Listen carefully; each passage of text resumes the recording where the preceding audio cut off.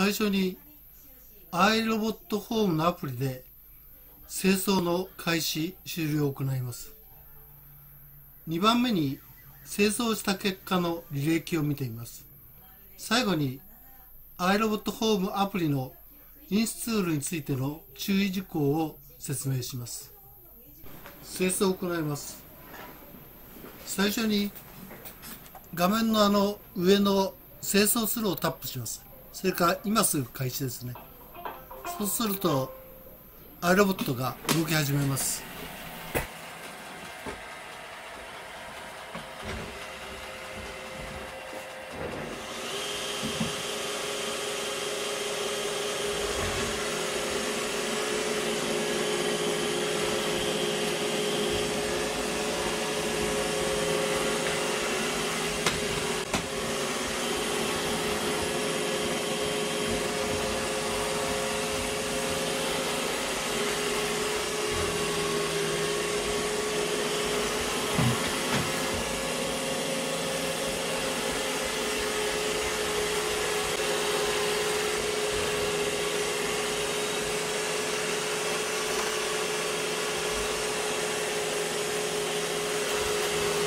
一時停止をタップします。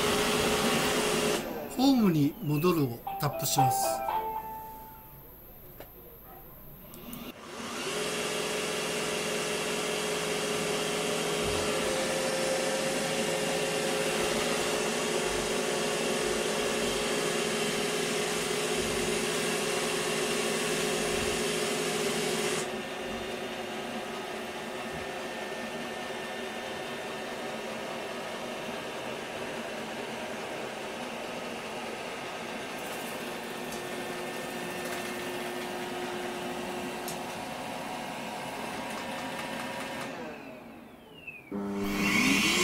耳を吸い上げる音って結構うるさいよね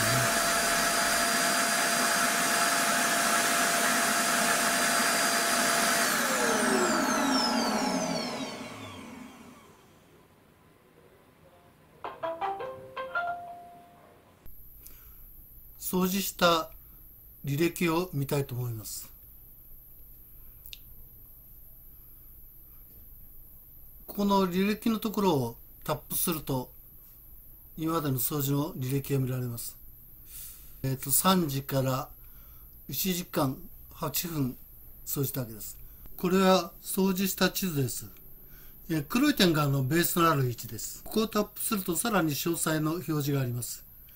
掃除した面積は32平米で、えーかかった時間が1時間8分です。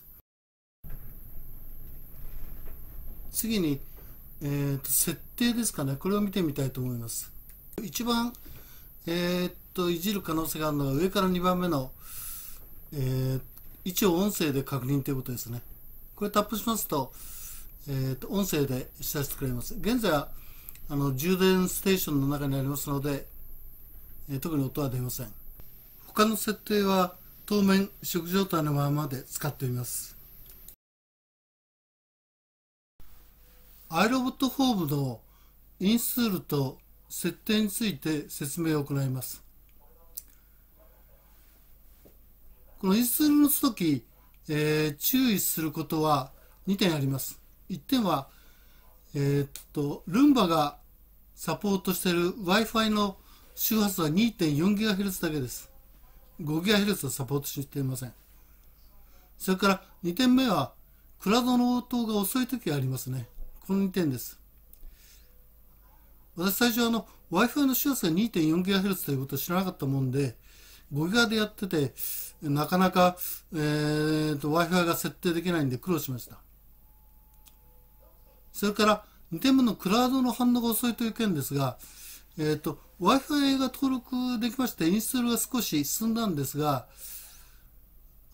その後あのなかなかインストールが進んでいかないんですね。それであのしばらくもうどうしようもないんでほっぽってきましたら、えーインストールが少し進んでいきました。おそらく私がやった時クラウドの反応が遅かったみたいですね。まあこれいつも遅いのかどうか分かりませんが、えーそういうことがありますのでこの2点を頭に入れておいてください。インストールが終わりましたらアプリの設定を行うわけですが、えー、最低限行うのはスケジュールを、えー、編集してください。この真ん中の図がそのスケジュールを設定する画面なんですが、えー、この場合、えー、と開始時間3時15分だと。開始時間を設定した後繰り返しですね月火水木金土と何曜日を掃除するかという設定を行うわけです。それからあと細かいのは設定という項目がありましてこれで細かい設定ができますが特に、えー、最初設定することはなくて初期設定のままお使いになればいいと思います。